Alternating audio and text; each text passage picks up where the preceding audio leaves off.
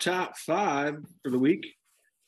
Top five WWE, well, just any wrestler of all time. Hmm. Gilmore, we'll let you, or Whitworth. You get to go first. Yeah.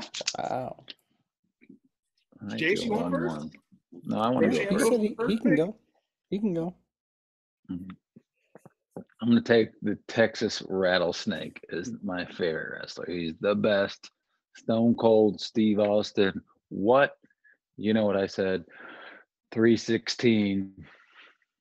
If you grew up in our age in the 90s and you didn't like Stone Cold, then something's wrong with you. He was the coolest. I mean, he was more popular than a lot of sports people when we were growing up. He the epitome of cool. Driving Zambonis, No beer all trucks. this yeah beer Monster chugs trucks. all the stone cold Jimmy stunners trucks. how many Just times did you just stone cold stun your friends in eighth grade when you walked into middle school like Oh, I was still doing that in college. i mean Still do it today. i don't think for our age and i get there's some older guys that are probably cooler more famous but for our age group i don't think there's any other guy than stone cold Okay. the Well, attitude era as murphy I better go older then.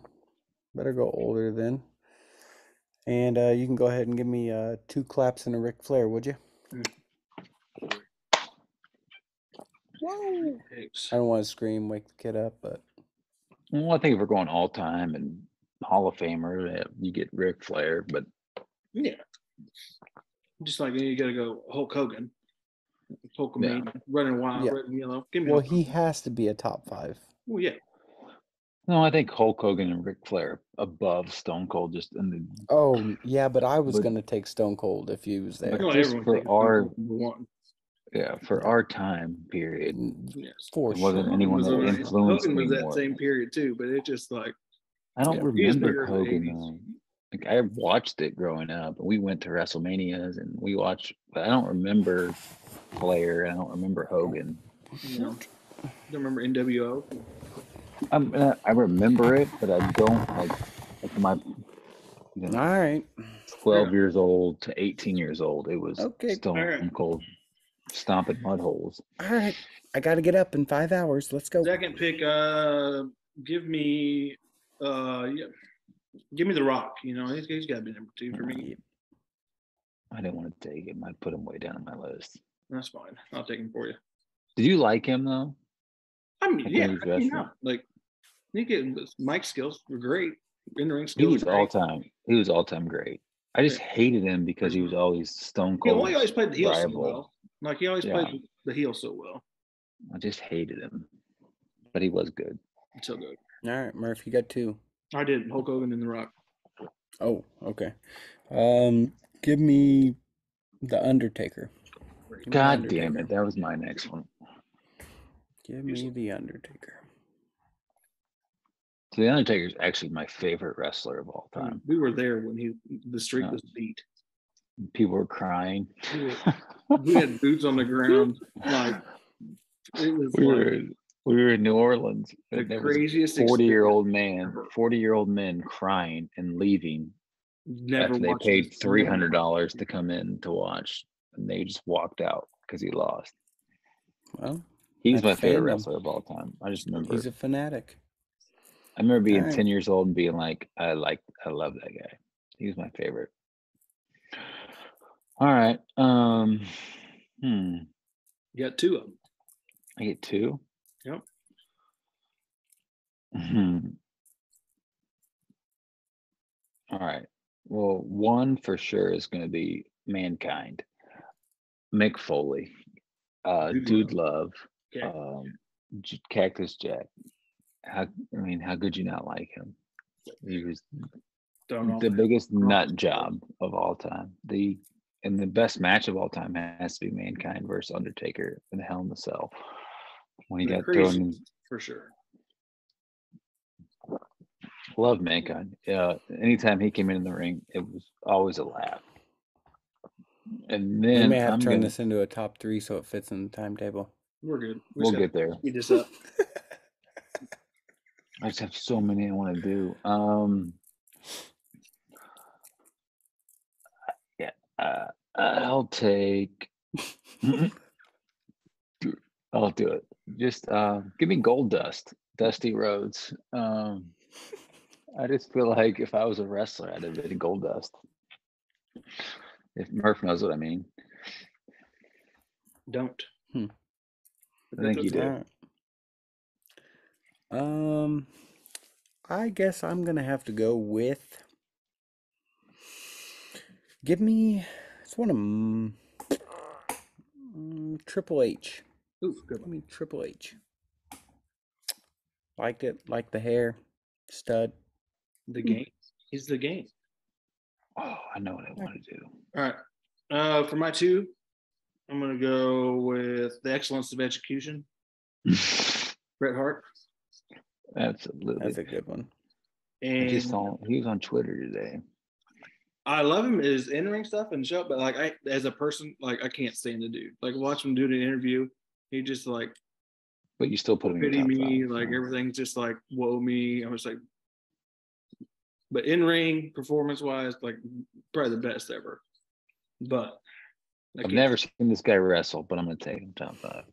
all right, I'm gonna go with the showstopper, Shawn Michaels, HBK. Yeah, that's my that was next pick. next- that was my yeah, I next one. had him. Yeah, I was gonna take him. He's got to be the most likable wrestler, right, Murph? You, I you know more about wrestling than I do. I mean, there's probably one more that would be. Just among wrestle, like among wrestle people, I mean, yeah, probably. I mean, he's probably at least top three. I mean, top performers, gotta be. But even like among wrestlers, like watching all the documentaries, like everybody loved him. They hated his guts in the '90s. What do you mean? He's such a No. prick. I thought he was a good guy. Undertaker said he would fucking if he was on fire, he wouldn't piss on him to put him put it out. Uh, Eminem said the same thing about his mom. Okay. All right. I wish I could take him as a duo, but since it's You one can. wresler, well, I'll give you a duo. The Yeah, why Hardy? Boys. The Hardy Boys. Yeah, absolutely. You can take the Hardy Boys. Okay. They Yeah. were one of my favorite groups. Like to play with when you used to play on like PlayStation 2 and stuff like I just loved them. Loved them. Jeff's on my list. I had Well, Jeff. Jeff Hardy was the one I was going to pick if you guys didn't let me take the Hardy Boys, but just cuz he was the high flyer and stuff, but yeah, go ahead. Then you got two. You got two. Now you have two. Oh, I get. I'm in the middle. You finish your two up right here. Well, you better snap it to a slim Jim, because give me Randy Savage. Um, I mean, personality wise, what are we doing? Like Randy Savage. There's another guy that To the top. Yeah. Enough cocaine for everybody. He was Deion. I mean, give me Deion Sanders. If he would coach, like he reminds me of Deion Sanders. He just ultimate, like tune in entertainment guy. Randy Savage was the best. There's so many guys I want to take, Murph, but I do oh, only get one more. love. I know. Do I go big fat guy? I like Edge. I love Edge, um, aka like Adam that pick. Copeland.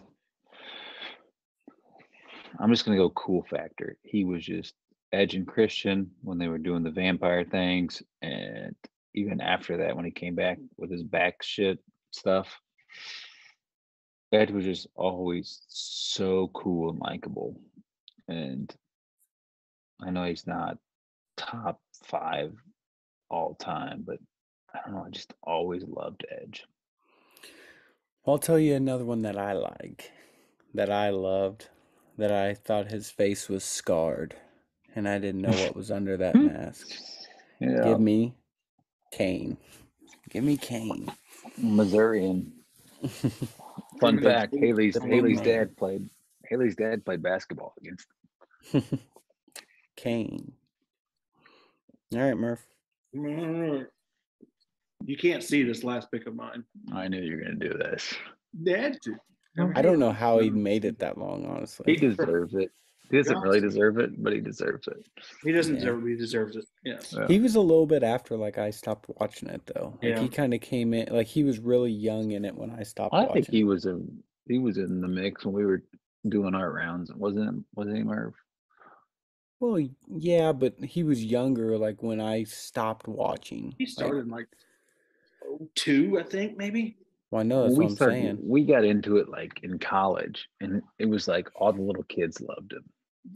So it was kind of Well, like yeah, because hard for everybody me just to, walk around just Yeah, so that was that, that was the problem with me. Like, so I had the Attitude Era, and then there was like a ten year period where I didn't watch wrestling, and then me and Murph lived together. We started watching Monday Night Raw again every hmm. night at twenty six years old, whatever we were, and then by that Yeah.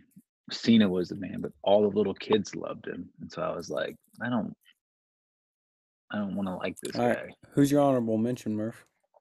Oh, how, where do you start? I mean, Give me three. uh, like I'm gonna go with a girl. I'm gonna go with Charlotte Flair, and then Jake the Snake Roberts, I was going to go that route. and um, go ahead. I'll come up with another one. I got so many. I got just go ahead. You want me to go or you, Okay, look, Right. Wentworth? I'll come on. I'll come over the Oh, end. there you go.